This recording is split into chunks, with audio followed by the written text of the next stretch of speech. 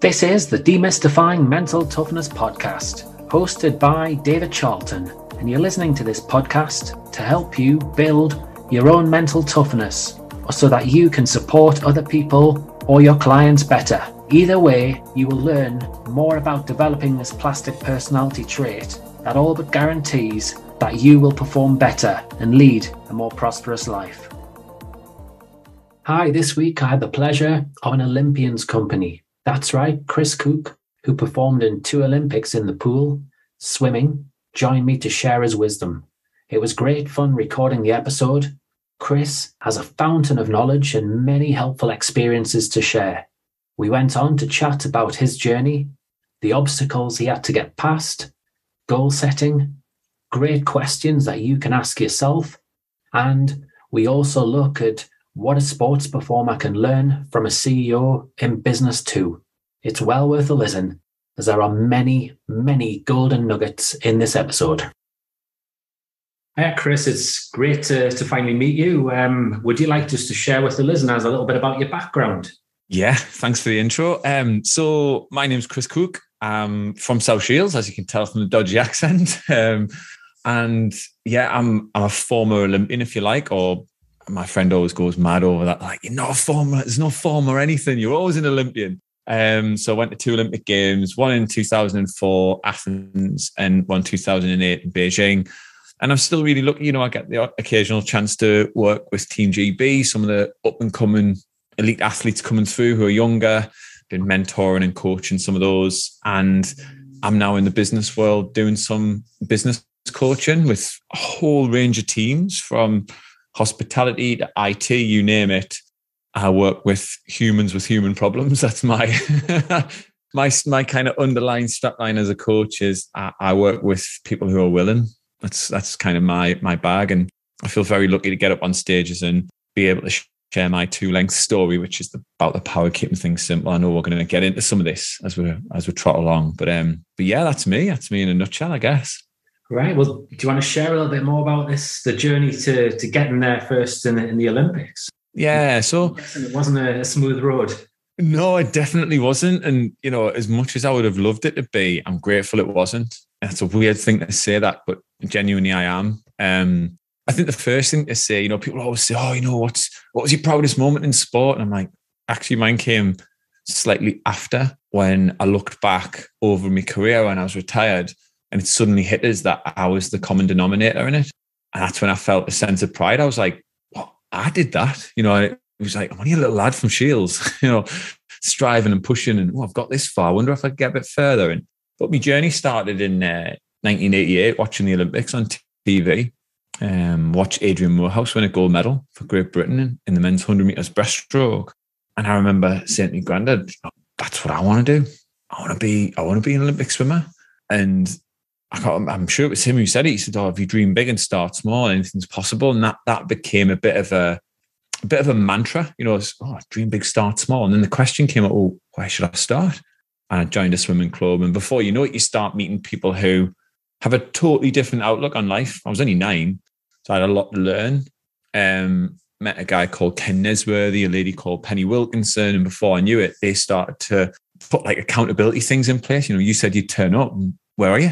You know, hmm. the age of 10, 11, 12, and someone's on your back like that, you're like, oh God, I can't let them down. But I started to learn from such a young age the power of having a mentor and a coach like that, you know, someone who isn't frightened to call you out. Obviously, that journey then leads to climbing up a rank. You go from the town competitions, regional competitions, national ones, national, then looking over the big fence, which is your international ones. And before I knew it, I was like, wow, I'm climbing up this ladder here. I'm like fourth in the country. How, how did I get here? And then, you know, once I started stepping on the international stage, I, I standing on podiums because the competition was so strong in the UK. When I was going to go on any international teams, I wasn't guaranteed a medal, but I was definitely guaranteed within a reaching shot. I just had to make it land. Um, so by the time I got to Athens 2004, I didn't have a lot of international experience, but I had loads of like hardcore racing every weekend. you know, if I stood up, I was racing against the best in the world at a local meet and deeds. Um, and then obviously the end of my career was after the Olympic final in 2008 when I, I bowed out after after the final. Did fear of failure ever crop up for you? Um, yeah, I guess my biggest fear was probably getting to the end of something and not realizing or trying hard enough. That was my biggest fear. And that kind of probably got me up 4.30 in the morning, if I'm being honest, because that's, you know, you get up and you, you graft. If you're a swimmer, you graft before the day starts and hard work really kicks in.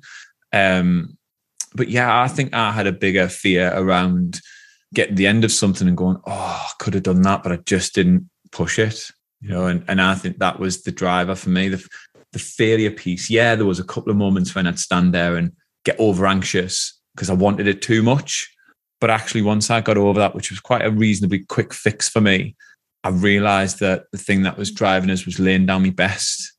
Um, and, and do you know what? I'm still there to this day, David. I'm still there to this day that you know I've I've realized looking back that while swimming was a passion, actually the real passion I have is is laying down my best and looking back and going, oh, that was me. That was brilliant. That.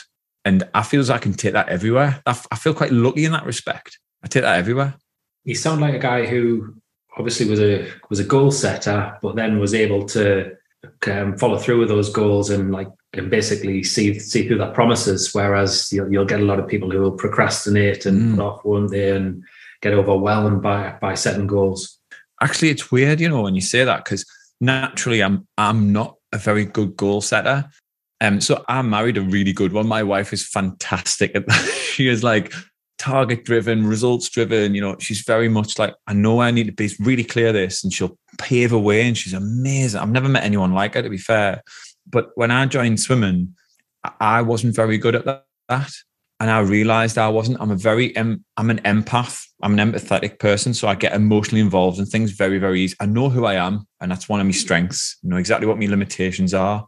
And what I realized in the process of of learning to climb the top of sport was I needed to become really great at the stuff I wasn't good at. And one of them was setting goals and targets and breaking them down. So actually, I feel lucky that whilst I didn't, I didn't know it at the time, but I was kind of bringing in colorful characters who would go, You're missing this. I think I can help you.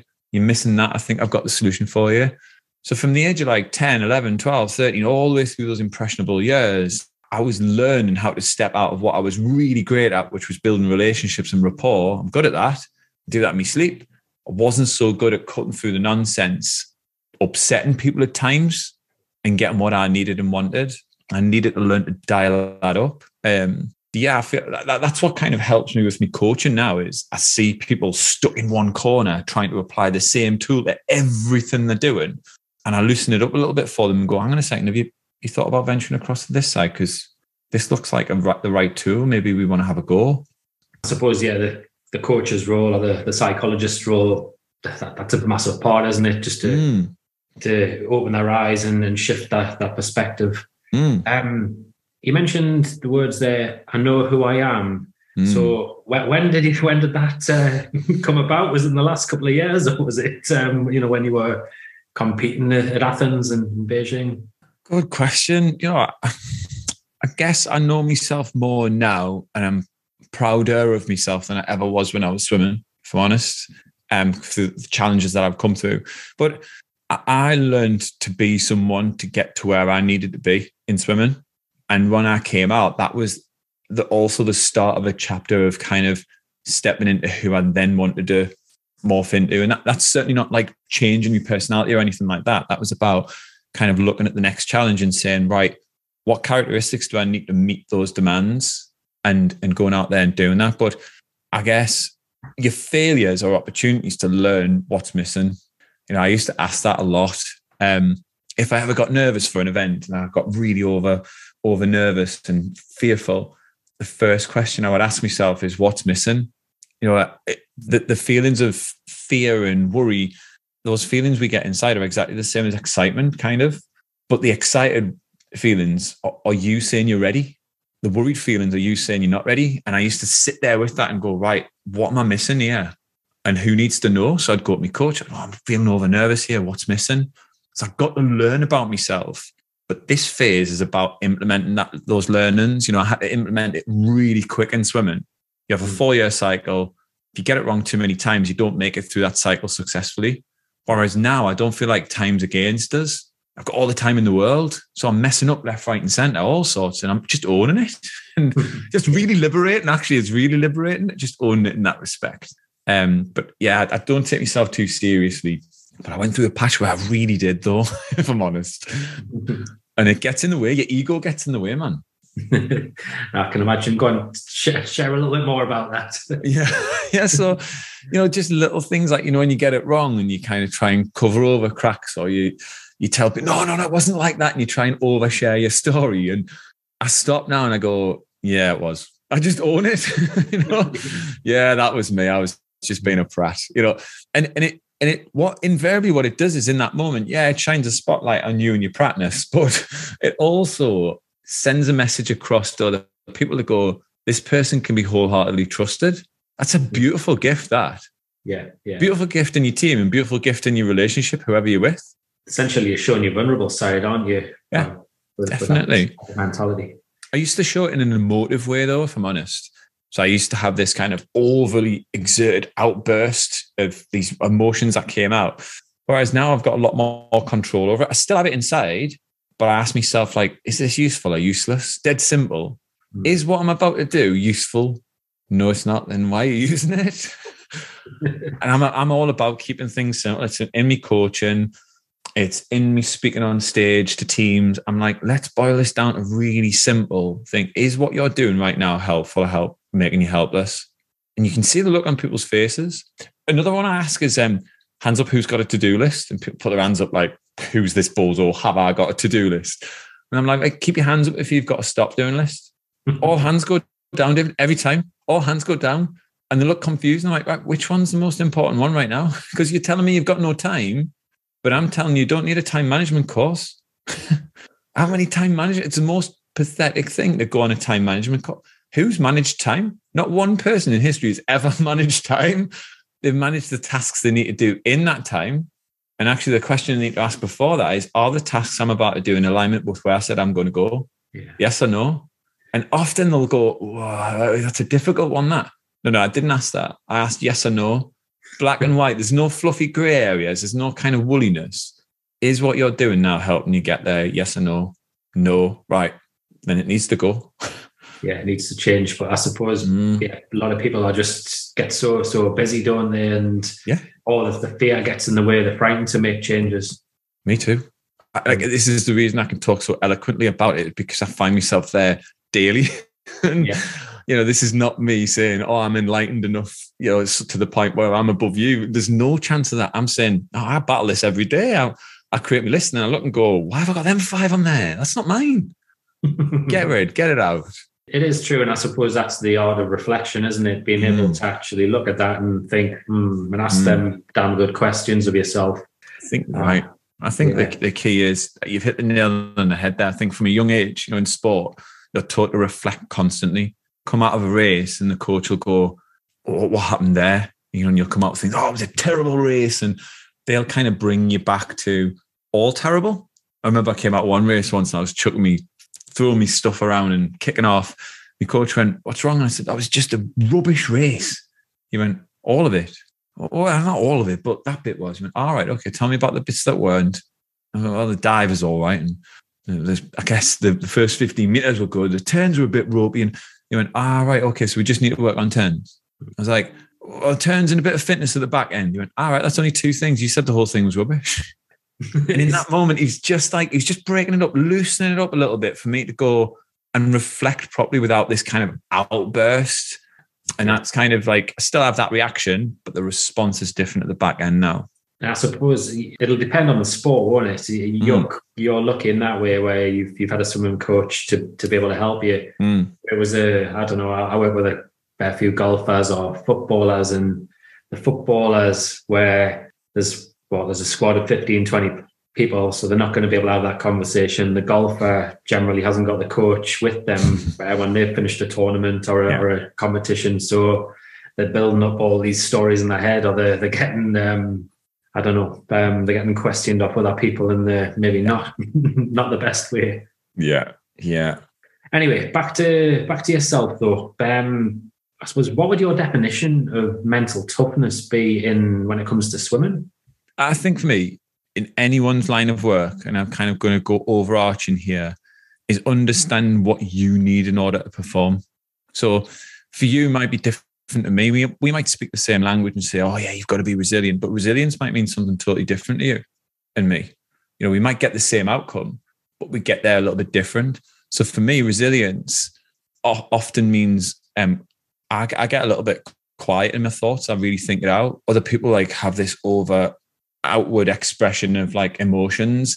You know, we all act and respond in a different way. I guess my my job as a coach now is to help people understand what what do we need to put in place for you to perform at your best. And I'm a massive believer that so many people work really, really hard, but they don't recover properly. I think a lot of people escape. They say it's recovery. So they'll go for a big knees up, drinking, you know, have a great weekend and all that. And then they'll come back into work. Oh God, I've never left the place. Oh God.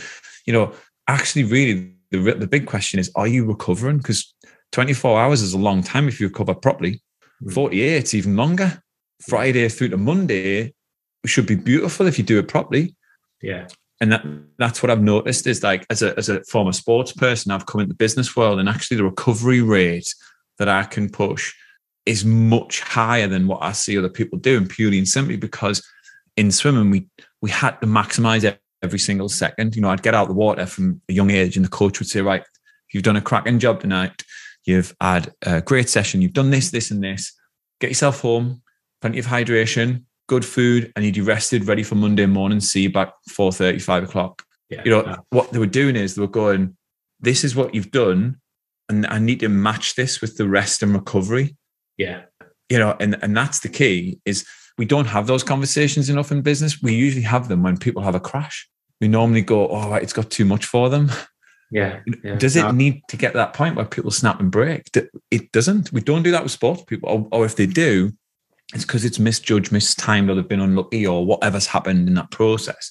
Generally speaking, it's hard work and recovery are side by side. Mm. Um, but understanding what you need, I think, is ultimately what mental toughness means. Like, what is it you need to be able to deal with those pressures? Essentially, yeah, yeah, yeah. yeah. As you say, to perform at your best. I like that. That's a, yeah.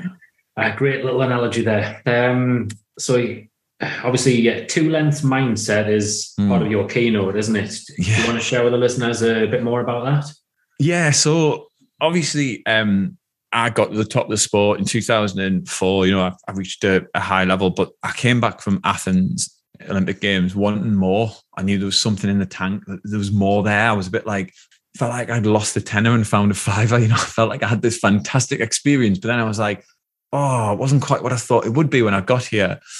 And so I remember going into a sports psychology session with um, Simon Hartley, and um, my coach at the time was a great guy called Ian Oliver and we worked really hard together, pushing the boundaries. And when when I'd gone at this particular sports psychology session with Simon, I'd walked in like really rough from morning training. I had weight session to do, which was going to be a two, two, three hour session. And then I had another two hour swim session on the evening. So it was a bit of a beastie week. And I had like competitions at the weekend. Had all these pressures on us because the higher up the chain you go, the more pressure there is or as I always say to my clients, you know, new levels bring new devils because they do. As you step up, it brings new demons and devils to your door, or can do. And I remember sitting down and Simon was like, "You look a bit rough. You're all right." I was like, "Oh God!" And I just I went for it. I just told him I was like, "Yeah, I've got this. I've got that. I've got the other." And he was like, "For five minutes, I must have just like filled the room with just sheer stress." and he went, "Wow, that's a that's a lot of stress for somebody who just has to swim two lengths as fast as they can." I was like, you what? I was like, you kidding me? You know, I was really triggered by it. I thought, how could you get it so wrong? We've worked together for years now. And I was, I was genuinely upset by it. And anyway, long story short, we ended up exploring it because I remember my granddad said it was years ago, if ever you're triggered by something, that's on you, not them. Mm. How many times do you hear people say, "Oh, oh yeah, but but it's just the way he said it"? No, no, no, no, no, no, no. Don't wriggle out of it. You're upset by what he said. Let's explore that because that's what you've got control over. Fair enough. Maybe he's opened his big fat trap and he shouldn't have said it that way and he said it this way and that way. But actually, let's discuss what's really going on, what's triggered you, what's hurt, because that's your growth opportunity there. And if you're brave enough to face it, you've got something beautiful there that you've been gifted. They've they've come into your life for a reason. let's work it out. So I I'd followed that advice and I'd gone and started to explore this with Simon. What is this two lengths thing? And we started this project, I guess, with the whole team of if it doesn't help me swim two lengths to get two lengths faster down the pool, what's the point in getting involved? But it threw into question all sorts of things. Like some things came up like, but we've always done it this way. Or I remember one person saying, but we're in the top seven in the world. Like, you know, we're doing it. And, and I was like, yeah, but are we? So we looked at the whole program we started asking like simple things like, does bench press help me pull? And the, the weights coach would go, I, I don't know. like, okay, well, is it don't know a no or a yes? Well, it's a no until I make it a yes. Okay, so what we're going to replace it with? And those questions started to morph and change the program to the point where we started to bespoke it and not just have this hand me down thing.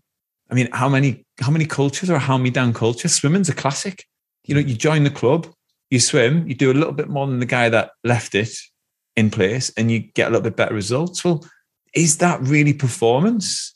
Is that high performance? So it threw into question a lot of things. So, and that's why I feel really, really blessed that we went through this because I feel as though I'd, I'd uncovered this blueprint of keeping it simple. And that's the question we asked ourselves all the time is what I'm about to do going to help me swim better from resting, recovering, going to that wedding on a weekend, you know, all those sorts of things. I would hold it up against this kind of mission, this ultimate mission. Um, and I've started to challenge businesses now, and it's phenomenal. Like their one liners now are just keeping them online. So I'm working with companies who come up with their one liner internally and they stick to it. Is this going to help us do X? No, then let's not get involved. And it's transforming the way they interact with each other it's freeing up, liberating time so that the actually the important things can speak. Because um, if I'm honest, I spent a lot of time on things that were urgent, running around trying to urgently do things, and I still find myself now when I should be on the important things. And the more I have conversations with clients, they'll say exactly the same thing. Yeah, you know, yeah. It's that, that's gold. That's that advice that you that your granddad gave you there really mm. is. Yeah, in some ways, that's shaped uh, shaped the way you went about your swimming, and then mm-hmm. likewise into to mm-hmm. what you do now, and, yeah. in some respects. And yeah, people are they say they're, they're very easy just to, to to blame others, aren't they, and shove shove those types of conversations yeah. to one side. Absolutely. It, it, it, if you look at it through that lens, everything then becomes gold, or it becomes not yours. And that mm. that's that's the difference. Is I feel people then start to go, well, actually, if I really take this on board and work on my trigger, I level up, but they stay the same. Yeah. They, they will still go around being bombastic or whatever they are. The idea is not to challenge their attitude on that. You can do if you want to. The, the, the idea is to go, actually, I'm hurt because of this. And this uncovers another layer of the, the onion. You benefit massively from that because we've got to remember we take us everywhere. So someone asked me, like, you know, what is the one thing you've left swimming with? And I was like, a better person who entered it. Yeah. That's it. And if you truly follow these lessons in life, everything we go through is not a waste of time. It's an opportunity to level up again and level up again, even though it looks like a back step. One question on the, the sports psychology mm. angle there. Was it something that um, you were, you know, really keen to take on and work with Simon initially, or were you a bit skeptical? Or how did you go into it? Yeah, it's a good question. I was really interested in it, but I was kind of, um, I guess I was kind of reached a point where I was marched along. I remember me coaching all of us saying, you know, I'd gone to um, the World Student Games in 99. Yeah, 99. I got the World Student Games and got up on the blocks in a really good position to win a medal. And it just fell apart. It absolutely fell apart. And I remember getting to the race, reaching down to splash myself at the start of the race. What we normally do is they'll blow the whistle and for you to get up onto the blocks to get ready to say, take your marks, go. And I normally lean down, grab a bit of water and splash my body with it to get accustomed to what's the climatized to the water temperature. And it's the last thing I do, I used to do. Then the end the whistle, you get up on the blocks, take your marks and go. I remember reaching down, I couldn't feel my hands. I could not feel the water. I was that nervous. And I, and I just knew I was in trouble. And I hit the water and I couldn't feel my arms, couldn't feel my feet and got out of that race, just totally bombed it. Got out the race and um, I carried it home on the flight, sort of thing. Or in my head, I was devastated. When I got back, Ian Oliver, my coach, was like, listen, let's let's face it head on. It's it's okay. It's all right. Like open it up. Let's go. Let's find what's triggered you. So I went along to Simon thinking, oh, it'll be a couple of sessions and I'll be sorted. And, and I was, don't get me wrong, but I just started to lean into a bit more and lean a bit more. And eight years later, I was still there, sat there on a weekly basis, chatting about more as another level. Let's do a bit mm. more. And we went on this. I mean, he was fresh out of university into into working with elite athletes. So he wanted, wanted subjects who were willing to take the course and find evidence and all that.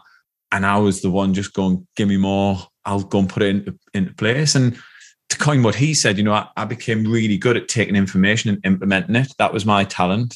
And I think that's the key is often we get trapped in that information space where we're just searching more, more, more and more instead of taking what we've been given, having a go and then going, was that useful or useless? Yeah. And become a really good implementer.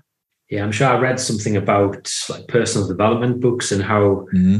95% of the population will love reading them, but then there's only about 5% that will actually do something with them. That's it. That's it. And if you look at kind of, I would love to match that up with who actually becomes successful. What's the percentage of successful people? Because I reckon it'll be a similar sort of stat. Mm. So actually, there's, there's, it's there for us. It's all there for us. If you just implement what you know, three quarters of the time, you've got everything you need to at least get you, you, you to the front door. And that's, I think that's crucial is if you're looking for a practical start, just implement what you know and then analyze and go, am I going to do that again? Is there a new, new way to do it? Because you're more experienced at that point. Hmm. Uh, I suppose it's, it's just very easy, isn't it, to keep on mm. making the same mistakes and uh, yeah. I suppose be frightened to make some changes. Yeah, You've alluded to some of the challenges that the, the business owner or the the executive may have. Mm. Just wondering, what, what do you think the like the sports performer, the athlete, can actually learn from the the, the business person, the, the CEO? That's really good. That I like that. Um, I think there's there's, there's lots of things. I think um, definitely managing people. I think um, sports performers. I, I might be wrong because I haven't worked on the inside of a team as such as in like you know you're in that position i'm in this position you're in that position i'm in this position. You know i, I was part of a an individual sport still had a massive team element to it you know and it was quite eclectic in that that way but it wasn't like on the pitch sort of thing. And i've heard loads of people stand up and talk about how to get the best out of people. I think sports can learn a lot about businesses in that respect. I think there's some i think we've got some world class businesses in the uk i'm I coach with inside inside a lot of them, and they're just phenomenal places to work, great cultures. But they've created that. It's not by accident. And you know, I think there's a lot can be learned from that. Um, and you know, we're, we're always talking about like, oh, sport to business, but I think you've hit the nail on the head. I think sport needs to maybe take a tiptoe across to some of the processes that are in place, some of the commercial thinking and that's in business as well, because everyone who's anyone now is being urged to make sure things are cost effective and efficient and energy efficient. I think we can learn a lot cross sectors, completely different sectors. Um, I work a lot in the NHS. There's some phenomenal work ethics there, like mind blowing. We can learn a lot from how they do that. Um, so I'm a massive believer in kind of, I love diversity. I think diversity is one of the richest things you can do with your culture um, just bringing new people in from different backgrounds and different social situations just adds something completely wonderful and different. And that's what I'm excited for the next 10 years. I don't think we've seen the tip of the iceberg yet.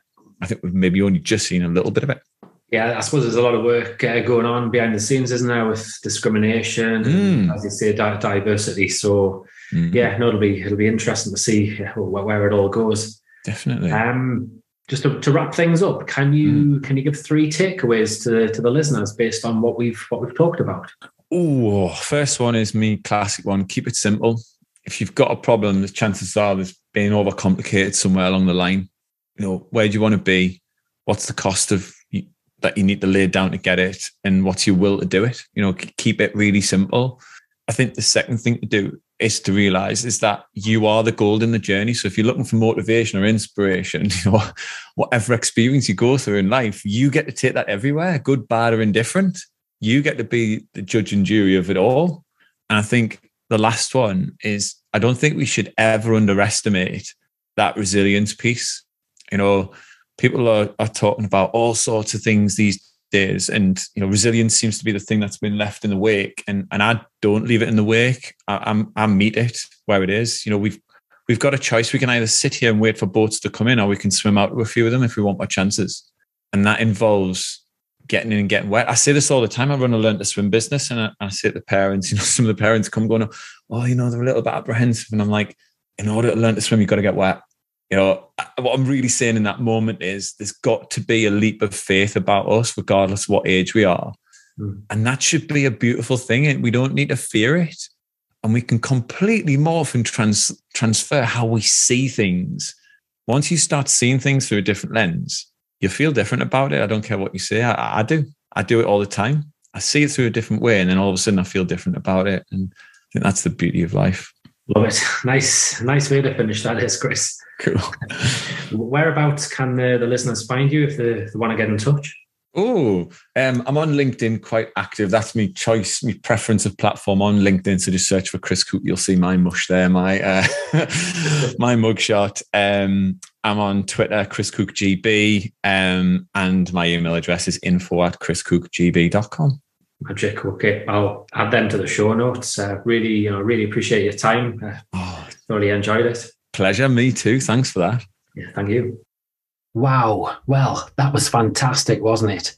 Chris offered so many bits of advice there, it was untrue. It's a really difficult one to know where to start and how to summarize. So I think what I'll do is I'll just take you back to Chris's granddad's wise words if ever you're triggered by something, that's on you, not them. And, you know, we can all learn from this. How many times do we react to something that's happened to us or what someone says to us and then wish we hadn't done it that way?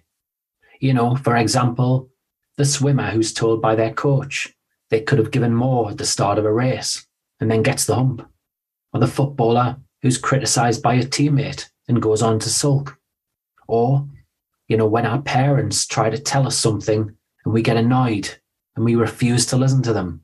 I bet we've all done that. And some will probably do it each and every day. So then what I'd like you to do is, and I'm going to encourage you to make a note. That's right, get a pen and get a bit of paper out. And let's have a little think about, you know, what does trigger you? Some different situations. And the way to go about this I would suggest using a simple reflective model created by John Driscoll. It goes what? And this is where you describe an event or a situation that you have been triggered. Then it goes so what? So you go on to explain why that action or the situation or event was significant. And then lastly, it's now what? And this is where you use future information to guide you moving forwards. So that's right. It sounds ever so simple. It's so what and now what. It's a really helpful reflective model and it's very effective in just taking the emotion out of the situation that you're going through. So basically, it can go on to, to make a big difference in your life or your situation should you use this model and process on a regular basis. And in mental toughness terms, it's going to help you improve on your learning orientation a key element of mental toughness. So essentially, you're going to learn from past mistakes or events. And in terms of learning, if you're a parent, you may also be interested in some advice that I offer on a weekly basis. That's right. If you check out Conversations with Kids in our freebies section of our website, the three W's dot sport excellence.co.uk, you can then sign up to weekly tips to help guide conversations in an informal way to improve little by little your child's mental strength and resilience. So, till next week, where you'll hear from me in a solo episode, have a fantastic time. If you enjoyed this episode of the Demystifying Mental Toughness podcast with David Charlton, do check out my website, sport-excellence.co.uk, and my online sports psychology resources. The Sport-Excellence website has essential resources for anyone looking to build their own mental toughness or the mental toughness of their athletes or teams or if you want to achieve peak performance more often or optimal functioning. The Sport Excellence website has everything you need to keep moving forward and thrive. So go on, head over to sport-excellence.co.uk to find out more.